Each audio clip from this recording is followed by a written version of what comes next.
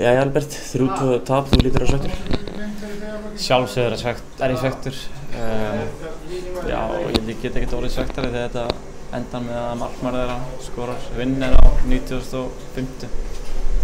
Uh, hvernig er þetta leikunni spilast?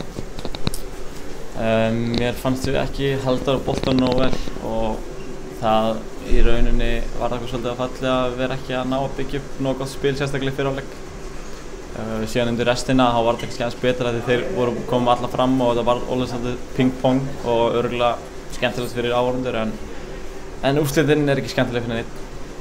eins og segir þá kannski voru þeir frekar sterkar í fyrirháleik og þið áttu vandræði með að halda bóltan, þeir pressuðu vel og þeir fengu fín færi og, en eins og þetta spilast í setna þá fengu þið fullt af sénsum í restina er ekki bara sættir að klára það ekki betur? Jú, gjörsanlega uh, hefðu við klára okkar sénsa og tala þá ekki um sén sem ég fekk hérna rétt á hann þegar skora 2-1 þá hefði þessi leikur fallið allt öðru uh, þannig að það, já, eins og segi, það hefði getið fallið okkar meginn líka en, en því miður var þetta, uh, var þetta fyrir slókana í kvöld.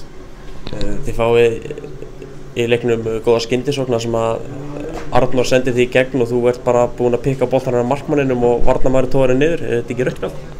Í mínum bókum er þetta rauðspjald, hann vildi meina að ég var að fara frá markinu en það hefði ekki skipt henni málið þegar ég kom fram í markmanninu þannig að í rauninni er þetta bara glóðuleg stómur, þetta er farlegt.